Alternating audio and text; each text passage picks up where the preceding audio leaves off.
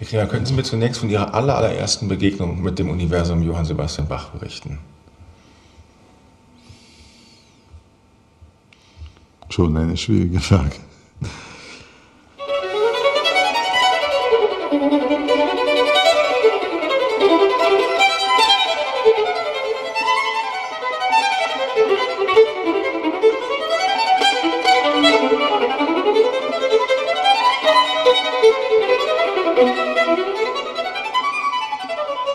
Ist eigentlich Bach? Äh, muss man ihn angehen als ähm, ein Monument?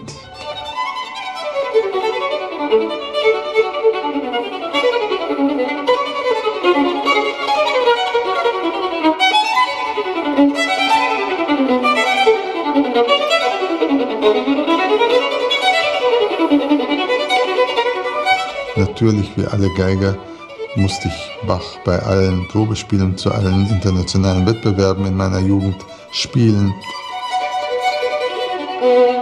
Es sind so äh, viele äh, Gelegenheiten gewesen, wo ich mit Bach auf der Bühne mich befand und auch im Studio. Zum ersten Mal nahm ich die drei Partiten auf im Jahr 75. Ich studierte damals noch in Moskau und dachte, damit ist es erledigt, weil ich ähm, eigentlich es nicht angestrebt habe, Werke mehrmals aufzunehmen.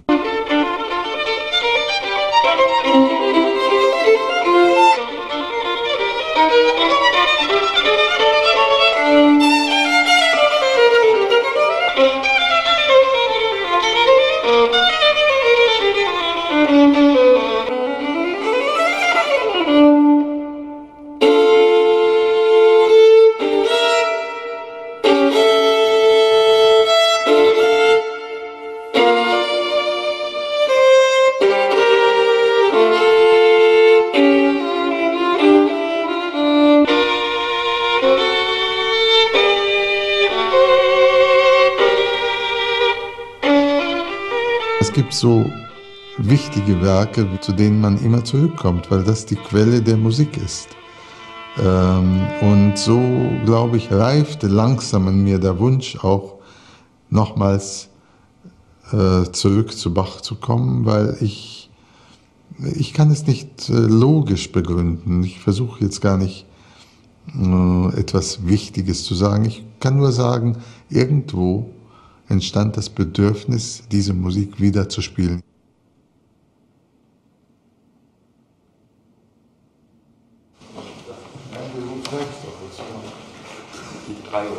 Oder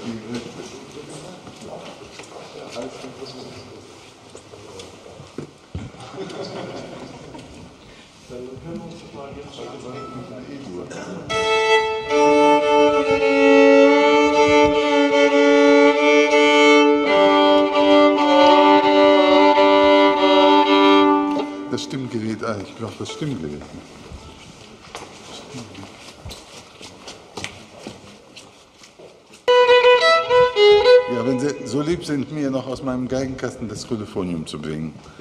Dankeschön.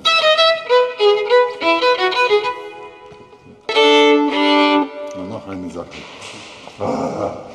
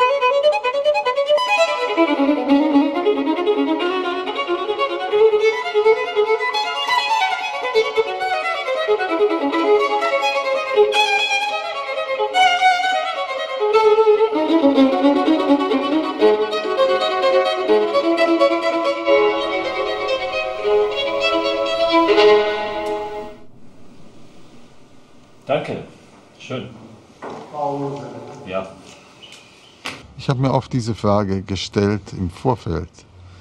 Ist das, was ich heutzutage mache, so anders, dass es sich lohnt, nochmals aufgenommen zu werden? Weil eigentlich habe ich ja das Kapitel Bach, die sechs Sonatenpartiten, vor 20 Jahren absolviert und äh, es war eine anständige Leistung, zu der ich wahrscheinlich auch noch zum Teil heute stehen würde. Ich höre mir meine Aufnahmen kaum an, aber äh, im Vorfeld habe ich mir ein paar Sätze so stichweise etwas angehört und muss sagen, ich war nicht enttäuscht. Aber ähm, wie das heute ist, ich nehme an, es ist anders. Empfinde das zu schnell, das Präludium. Das ist zu hektisch. Vielleicht. Äh, und zwar, ich weiß nicht, wie Sie den Raum empfinden, in, in, ob Sie den überhaupt wahrnehmen. Aber um ein bisschen zu spielen mit den Effekten mit Fortepiano, braucht man mehr Zeit. Braucht man vielleicht ein bisschen mehr Zeit. Das ist möglich.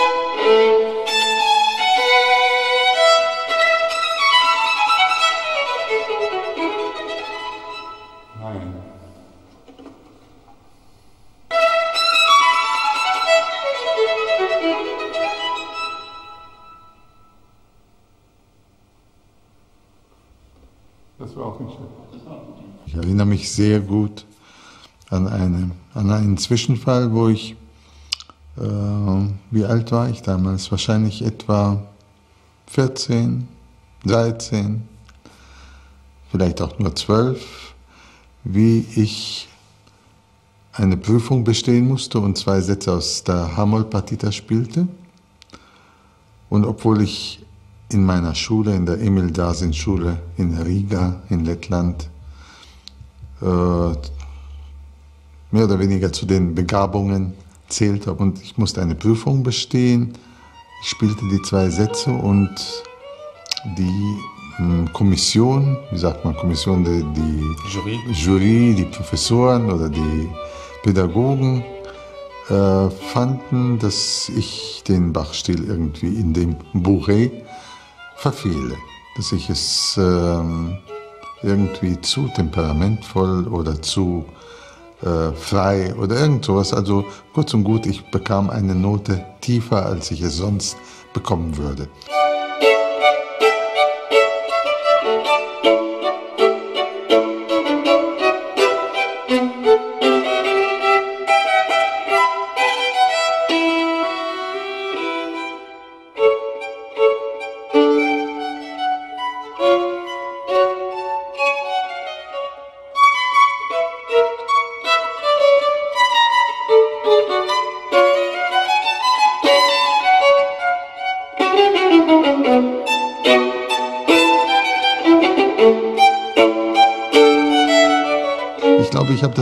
Mit David Eustach erlebt, weil äh, bevor ich in, ins Konservatorium kam, war Eustach sehr skeptisch über meine Begabung.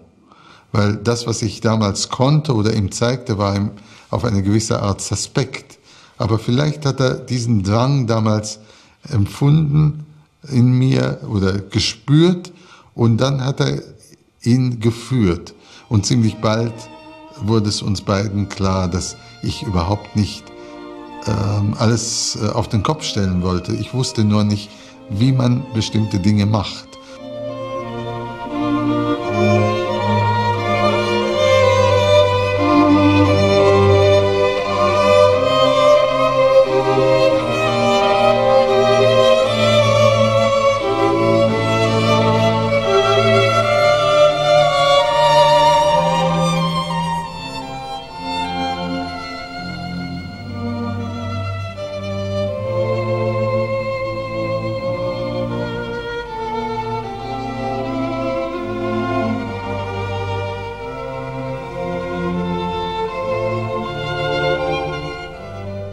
Vor zwei Tagen einen Filmbericht über Isaac Stern äh, gesehen und äh, da kam auch in seinem Interview, wo er befragt wurde zu jungen Begabungen, ein wundervoller Satz vor. Ich versuche ihn jetzt ähm, zu wiederholen, obwohl jede Wiederholung auch eine Interpretation ist. Aber er sagte, ihn interessieren die jungen Begabungen vor allem, aber nicht die, die kommen und sagen, schau, was ich alles kann, hier bin ich, ja?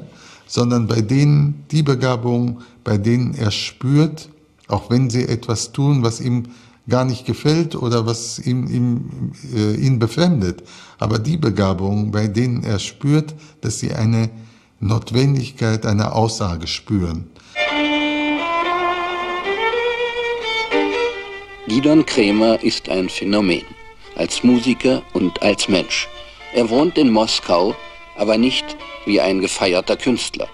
Er gastiert in der ganzen Welt, als sei er ein Star aus dem Westen. Kremer ist in jeder Hinsicht eine Ausnahmeerscheinung, künstlerisch wie kulturpolitisch. Mit einem etwas gefährlichen Ausspruch nannte Karajan ihn den besten Geiger der Welt von heute. Jedenfalls gibt es keinen zweiten Geiger, der so viel charaktervolle Faszination ausübt wie Gidon Kremer. Auf seinen Reisen begleitet ihn seit kurzem seine junge Frau, eine Pianistin. Selten kann Kremer noch zu Hause in den engen Wänden seiner Moskauer Wohnung sein. Die ganze Welt ruft ihn. Seine Konzerte gelten als Sensationen. Kremer aber scheut alles Sensationelle. Er ist ein fanatischer Wahrheitssucher im Leben, im Denken, im Musikmachen. Wenn man Musik macht, ähm, ist es nicht nur, um zu zeigen, wie toll spiele ich, sondern äh, es geht darum, auf etwas aufmerksam zu machen, was wichtiger ist als der Spielende und vielleicht sogar wichtiger als der Zuhörer.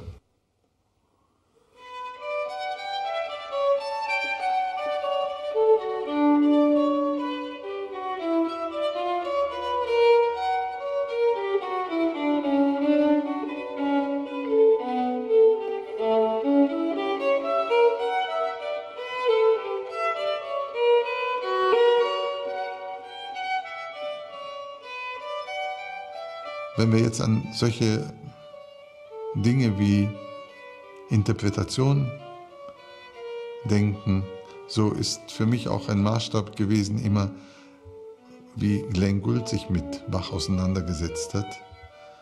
Nicht, weil ich ein, viele sind Bewunderer von Glenn Gould gewesen und ich gehörte sicher auch zu denen und ich hatte sogar das Glück, mit ihm mal eine Begegnung zu erleben. Aber ich denke jetzt an die Vielfältigkeit der Sicht zu Bach. Glenn Gould ist eine, aber auch Glenn Gould zeigt in einem seiner Musikfilme, wie ein Thema einer Fuge oder eines Preludio, ich weiß es jetzt nicht mehr genau, in, wie das in ganz verschiedenen Tempis gespielt werden kann, aber immer noch äh, gespielt werden kann, aber immer noch den Sinn behält. Und so bin ich auch auf der Suche nach dem, was ist das bessere Tempo, was ist das richtigere Tempo. Gibt es da eine Antwort? Ich glaube nicht.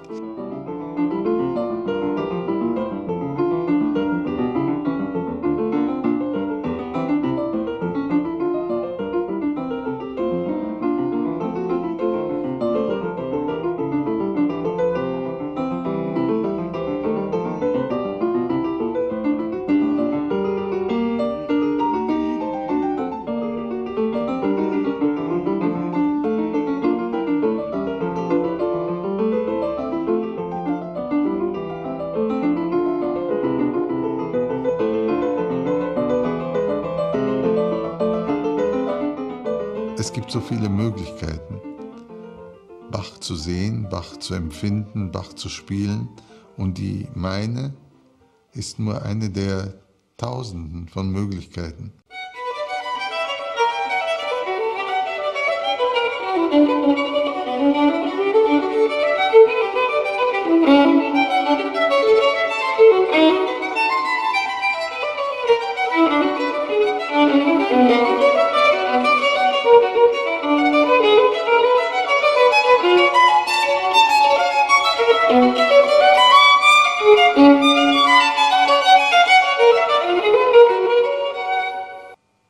Partita besteht aus acht Sätzen, eigentlich aus vier Sätzen und jeder Satz, Allemande, Corante, Sarabande und Bourré, jeder hat noch einen Anhang, ein Double. Dieses Double ist wahrscheinlich doch gemeint als eine Variation zu dem gerade aufgeführten Satz, also Allemande, Double, Courante, Double und so weiter. Es ist nicht ein Satz für sich, er ist irgendwie, hat eine Relation zu dem vorher erklungenen.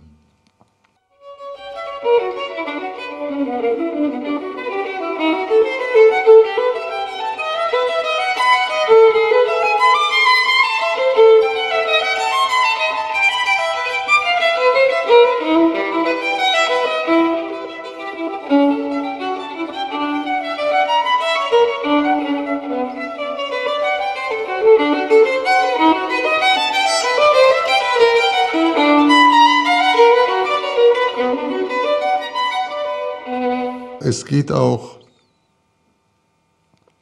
darum, eine Temporelation zu finden. Aus irgendeinem Grund wird die Allemande meistens sehr langsam gespielt.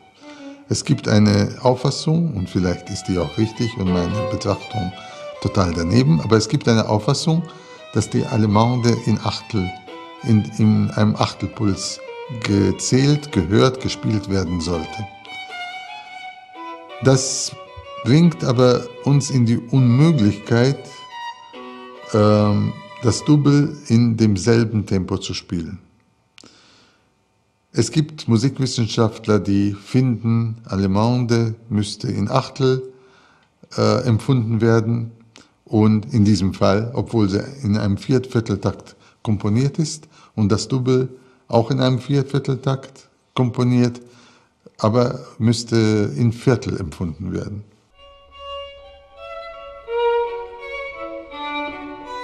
ein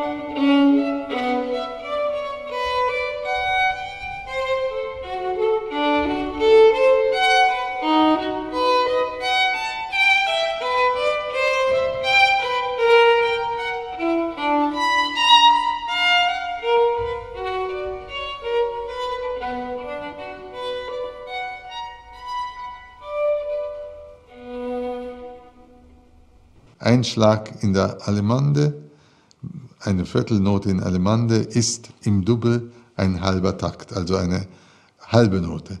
Dann scheint, es, scheint die Welt in Ordnung zu sein.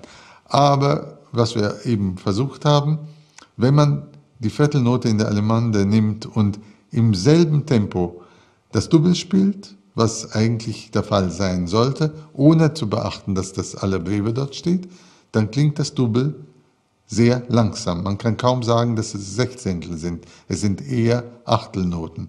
Aber es ist immer noch schöne Musik. Und insofern glaube ich, äh, diese Musik hat seine Bedeutung in jedem Tempo.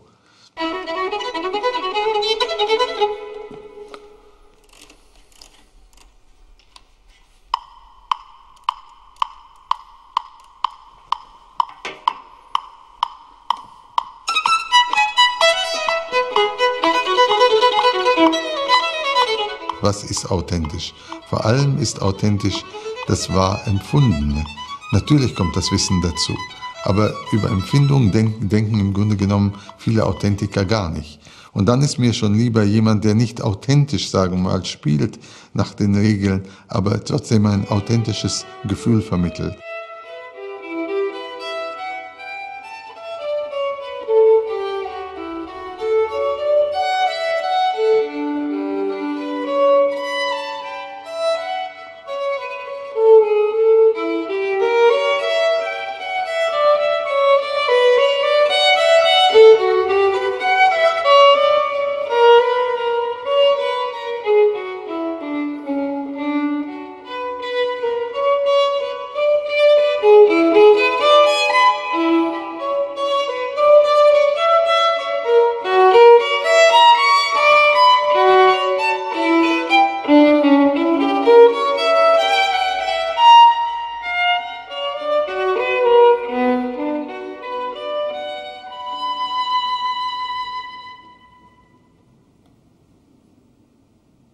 Zeiten habe ich mich fürchterlich verspielt und ich ja, ja, konnte ist, dort sogar ja. keinen Ausweg finden. Ich weiß gar nicht. Für mich zerfällt dieses Menuett im zweiten Teil ein bisschen vom. Danke vielmals. Wenn die Tempi zu unterschiedlich sind, also in, innerhalb des, Sollten vor allem hier in dem äh, Teil. Sollten nicht würde ich, fürchte ich so ein bisschen für die ja, Form. Ja, ja, ja das, finde ich sehr schön. Also diesen Dialog, den Sie da äh, machen zwischen dem diese Leier, das ist ja eine Leier eigentlich ja, nicht, das ist sehr, sehr schön.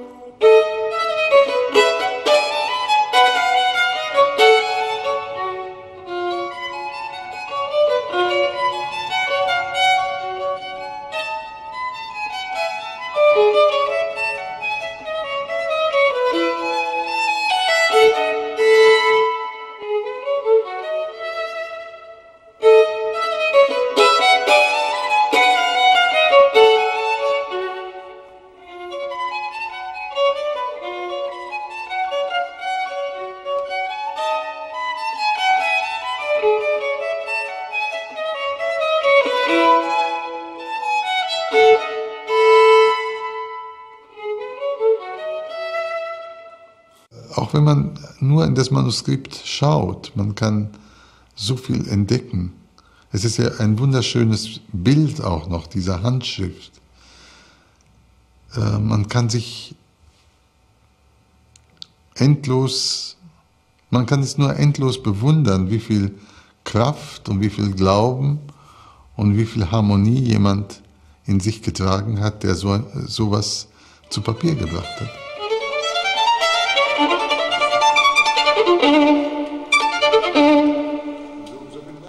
Mischen sich die Töne nicht zu sehr?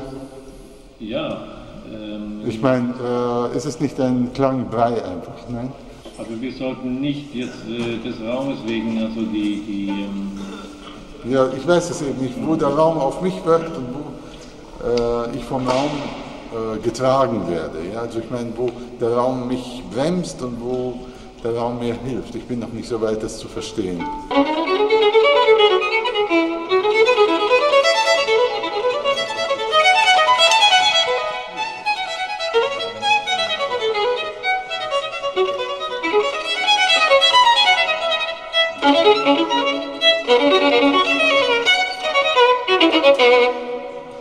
Was ich rein akustisch nicht berücksichtigt habe und äh, woran ich nicht gedacht habe, dass erstens, das wissen wir alle, dass ein voller Raum, wie es meistens ist, mit Publikum, eine andere Akustik hat.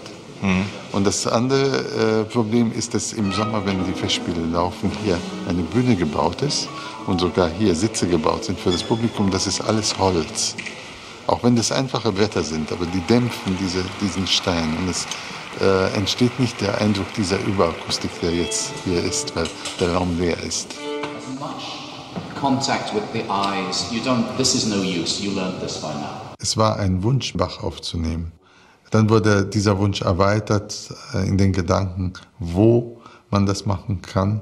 Und ich habe beschlossen, ich beginne damit in Lockenhaus, in einem Ort, wo ich mich eigentlich wohlfühle, wo es den Pfarrer Josef gibt, wo, ähm, wo ich mich auch auf eine Art in meinem, sagen wir mal, Zigeunerleben zu Hause fühle wo so viel schöne Musik in den 20 Jahren der Kammermusik, äh, des Kammermusikfestes Lockenhaus in dieser Kirche entstand, entstanden ist, dass man in die Kirche schon kam und ähm, die Atmosphäre dieser Kirche vermittelt einem mh, mm, so viel, also sie baut einen auf.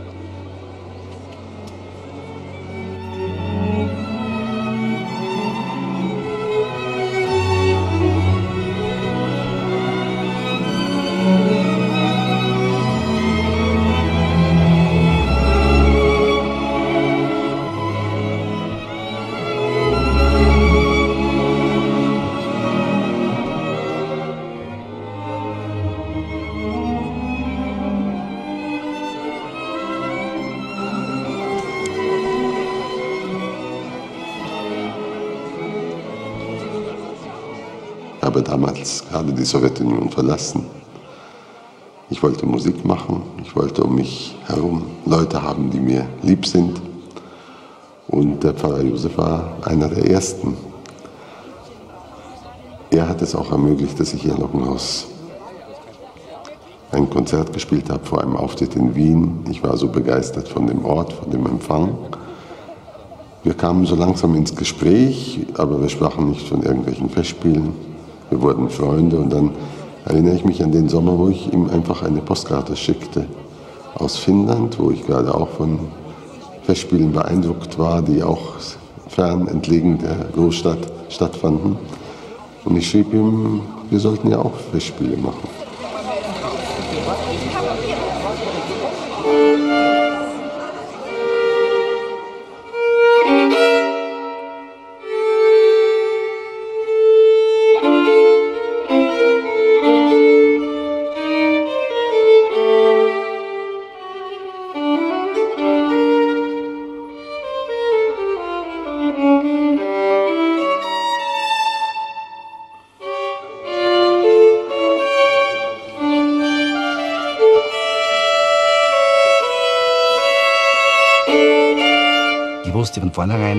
Ich kann hierher nur gute Leute laden. Ja. Und da kam bald, am Beginn dieser Lockenhauser Konzerte, Gidon Grämer nach Lockenhaus. Er war damals auf dem Weg nach Wien für ein Konzert mit Grindenko, mit zwei Geigen, ein Konzert also.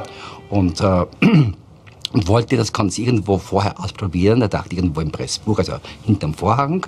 Und da war eine Dame in Wien, die mich kannte, die wusste meinen Absichten. Und die hat dann äh, gesagt, ah, ich weiß, wo wir hingehen, wir gehen nach Lockenhaus.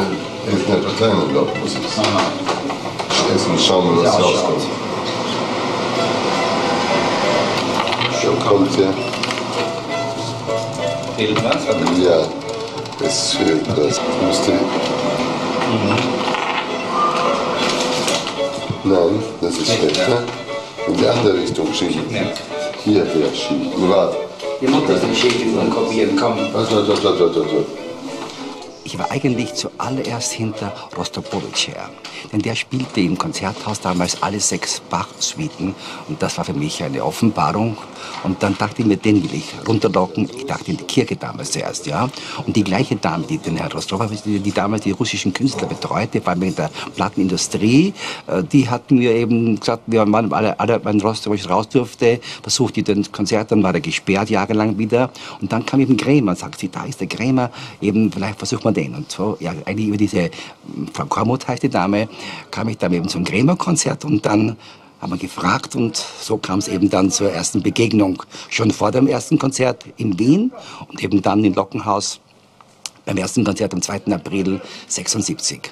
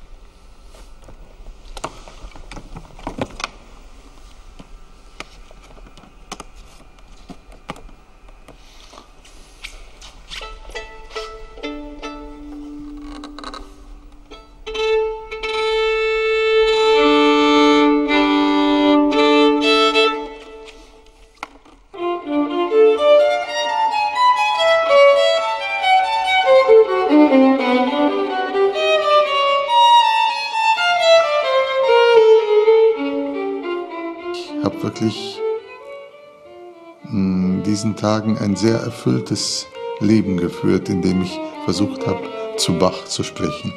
Diesen Sommer in der Phase der Vorbereitung zu diesem Projekt, wo ich sehr viel üben musste, trotz meiner Tourneen, trotz der Arbeit mit der Camerata, habe ich mich sehr oft allein im Hotelzimmer ähm, gefunden und musste die Feststellung machen, dass Bach wahrscheinlich das beste Mittel gegen Einsamkeit ist. Wenn man Bach spielt, ist man nie allein. Man ist immer auf einem, in einem Gespräch, man ist immer in einem ähm, Versuch, Dinge zu verstehen, zu, zu fühlen. Man wird von diesen, äh, von diesen Zeilen, von diesen Tönen bereichert.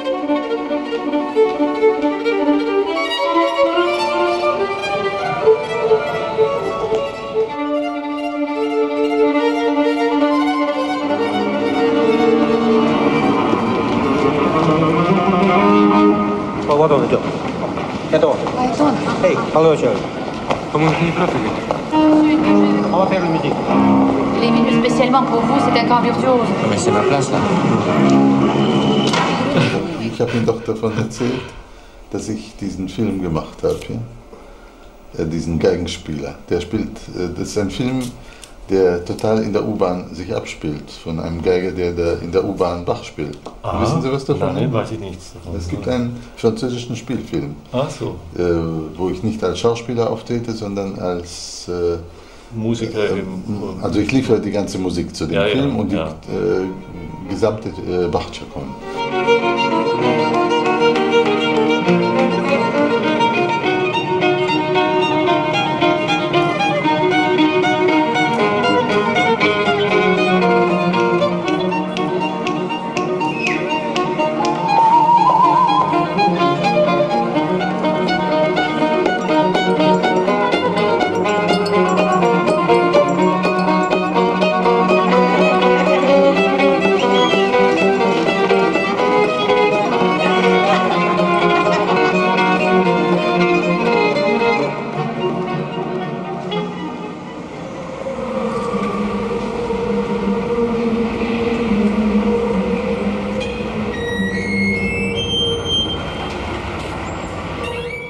Auch ganz unerwartet ist in diesem Film und was äh, sehr konsequent durchgeführt worden ist, ist, dass man in einem Spielfilm einem Geiger oder einem Violinstück wie der Chaconne von Bach den Raum und die Zeit gibt, äh, komplett gespielt zu werden.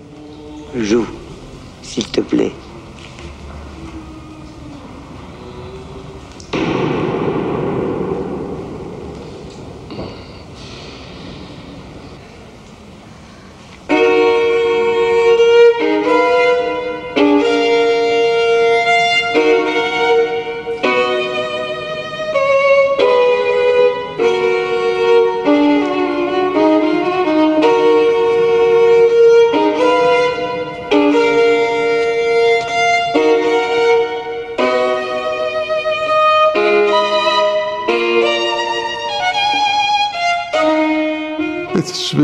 Mit, einem, mit einer anderen Lebensgeschichte auseinanderzusetzen, wo es doch um einen Geiger geht, der kein Konzertgeiger geworden ist.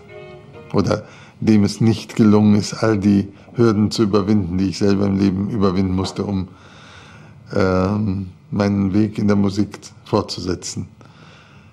Es ist nur eines dabei wahrscheinlich gemeinsam, dass ich es auch als notwendig und möglich empfinde zu träumen, genauso wie der Held dieses Film, Filmes.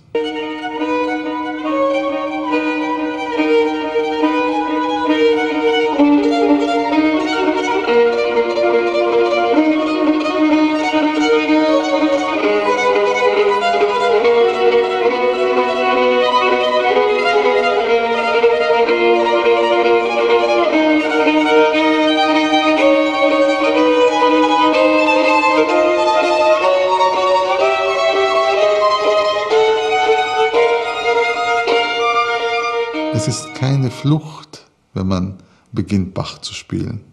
Es ist eine Gegenüberstellung vielleicht, weil heutzutage, wenn man denkt, ging mir auch durch den Kopf dieser Tage, wenn man denkt, es ist so viel Schlimmes in der Welt, die Welt ist am Rande eines Zusammenbruchs, die Reichen wollen mit den Armen kämpfen, die einen verstehen nicht die anderen und wollen gar nicht die anderen verstehen. Es wird überhaupt nicht angestrebt, ein Gespräch, es wird nur angespräch, an, angestrebt, wer ist stärker, wer kann dem anderen beweisen, dass sein Glauben der richtige Glauben ist. Sieht es eigentlich eher danach aus, dass wenn man mit Bach nach Lockenhaus geht, dass es eine Flucht ist. Aber es ist keine Flucht. Es ist vielleicht ein Weg, ähm, es ist ein Weg, der Weg zu Bach ist ein Versuch, die Werte zu entdecken, die für immer da sind, für jeden da sind.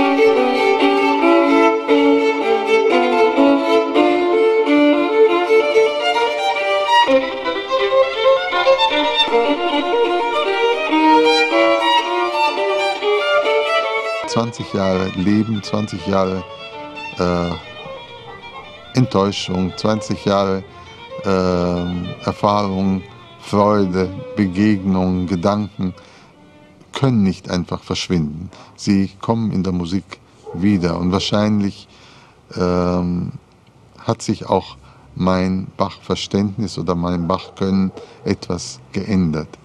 Aber nicht, ich weiß nicht, wahrscheinlich doch nicht dermaßen, dass man sagen könnte, es spielt ein ganz anderer Mensch. Ich bin doch der Gideon, derselbe Gideon geblieben, derselbe Gideon Kremer, obwohl mit einer anderen Geige in einer anderen Kirche, aber mit derselben Musik.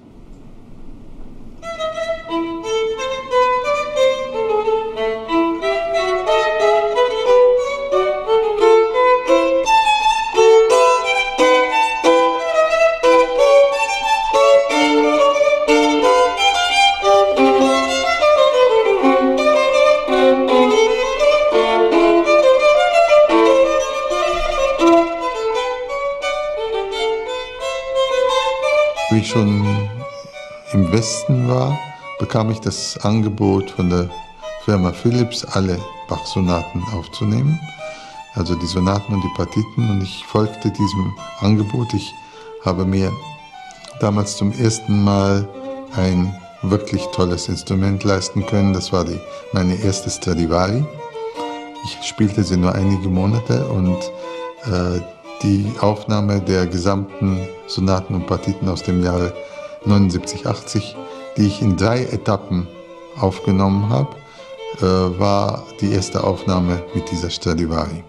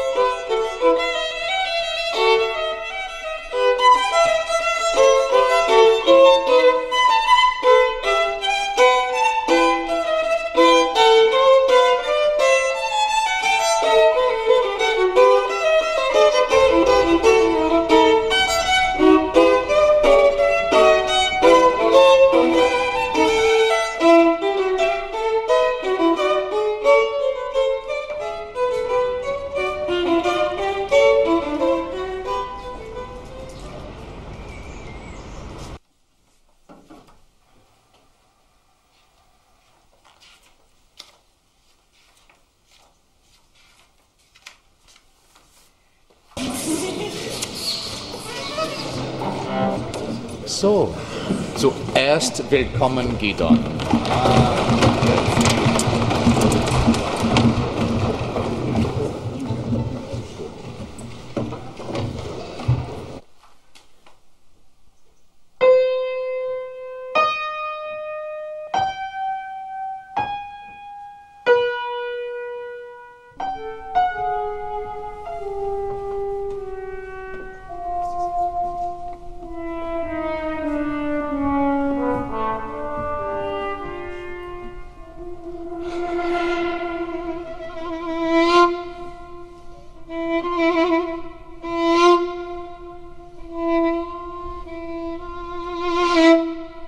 Семидесятых годов, когда молодой скрипач Дидон Кремер, всем известный уже тогда и знаменитый, предложил мне э, написать вещь для него.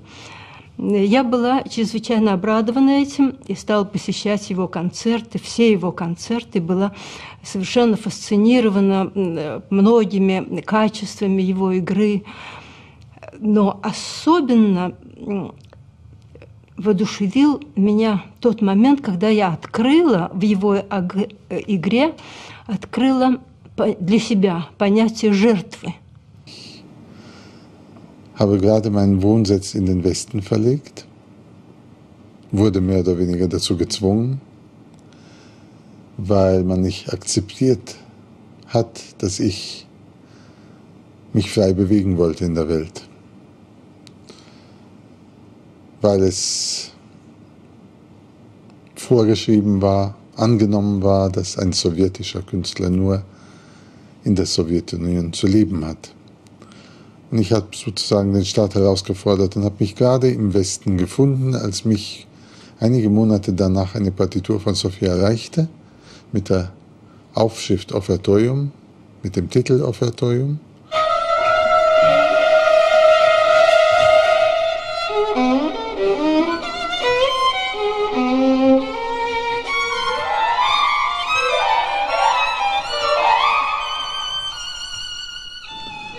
Und zu dem Zeitpunkt, wo ich diese Frage gestellt habe, hatte ich schon einige Erfahrungen mit ihrer Musik und war einfach neugierig, was diese Person, die so viel Ausstrahlung hat, äh, für Violine komponieren könnte.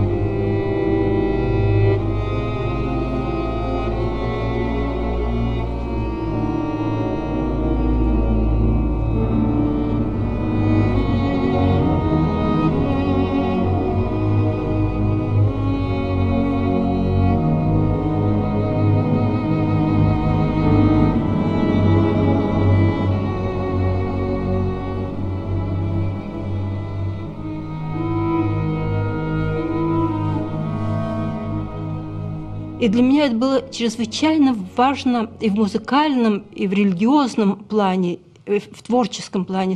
Очень важное открытие, что есть такой художник, который всю свою силу, вся свой, э, всю свою силу души он отдает звучанию, отдает музыке. И для меня эта встреча э, с Гедоном была чрезвычайно важной. И дальше я уже начала думать, как осуществить э, в конкретном сочинении идею жертвы. Nicht nur das, das musikalische Opfer von Bach für jeden Musiker viel bedeutet, aber der Begriff Offertorium lag so etwas auch in der Luft, als ob sie äh, sich das ist jetzt nahezu anekdotenhaft, als ob sie sich selber etwas aufopfern wollte, mir zugunsten, weil ich damals eine Person non grata war. Ähm, Offertorium, Opfer, eine musikalische Gabe, ein musikalisches Geschenk war es auf jeden Fall. 115. Ja. Ja. Das ist sehr gut hörbar. Ja. Aber das ist ein bisschen lauter, Ja. wenn möglich. Da, da, da, Ja, da. da. Immer. Ja, ja, ja, gut. Und Aber nicht, nicht mehr Piano. Nein. Nein, Nein, nur Hafen. Ja, gut. vor- Ja. She wrote it so much for him. You can tell his personality is really there. Uh, and this fact that he is always searching and that he's not frightened of being ugly as well as beautiful. He's not frightened of either. It has very much him there. Also, the way that he can often very gently oppose everything, if you know what I mean.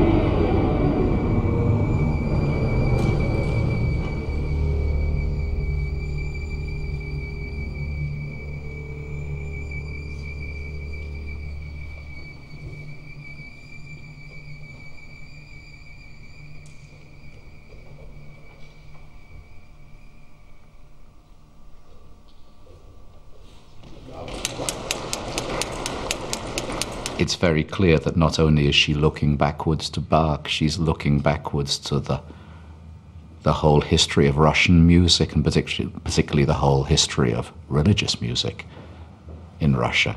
Uh, and of course, we tend to forget what a type of dissident sign both a love of Bach was and an avowed religiosity. Wir sollten auch tatsächlich nicht vergessen, dass die Wurzeln dessen, was Bach konnte, im Glauben waren. Und wahrscheinlich all das, was er zustande gebracht hat, und nicht nur Instrumentalwerke, sondern auch die großen Werke, die Passionen, nicht nur die Orgelwerke, sondern auch Werke für ähm, Saiteninstrumente, nennen wir es so. Ähm, alle vom Glauben getragen worden sind. Я думаю, что, я думаю, что э, это не случайно, что такое э, глубокое отношение к Баху у у Гедона, потому что мне кажется, что в истории музыки вообще это центральная фигура, потому что она объединяет самое важное в нашем существовании – интеллектуальный э, потенциал человека и интуитивную мощь э, э, стихийного потока.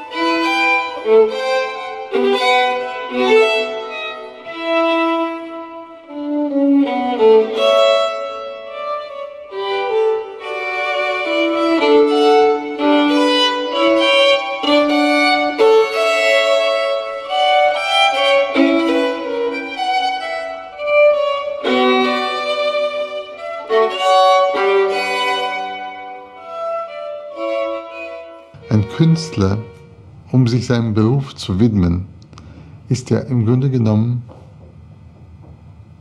gezwungen, vieles zu opfern.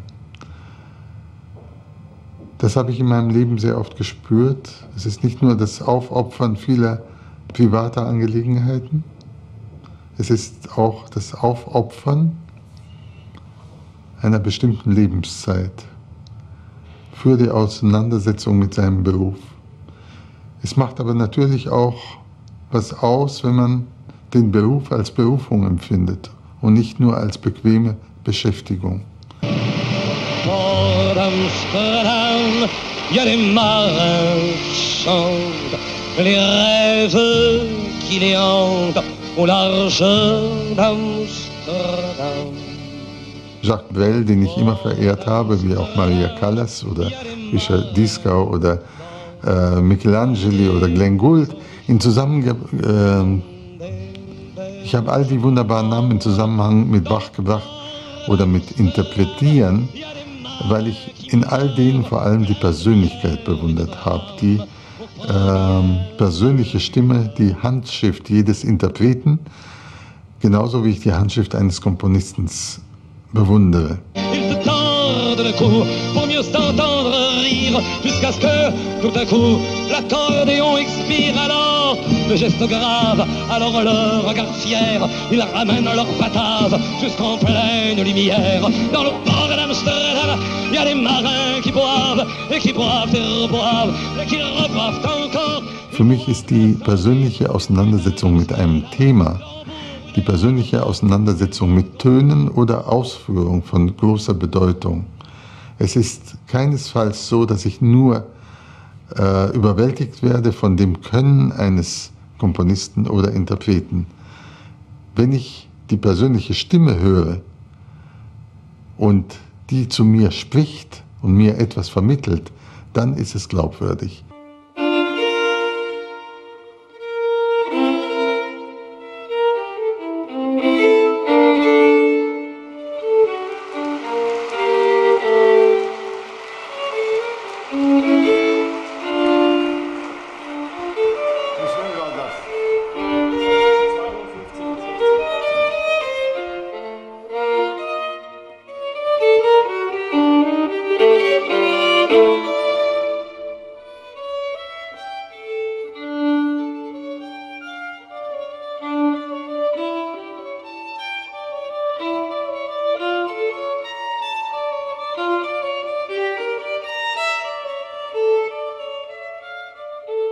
Praktizierender Musiker sollte sich natürlich mit dem Geist der Musik auseinandersetzen. Äh, ich glaube auch, dass man immer etwas schuldig bleibt, einem Komponisten. Und das wird sich auch nicht ändern. Es werden Generationen von Interpreten kommen, gehen. Die Musik von Bach, von Mozart, von Schubert und von einigen unserer Zeitgenossen wie von Schostakowitsch zum Beispiel, wird aber bleiben. Und es wird immer ein Rätsel sein. Wie soll man es aufführen?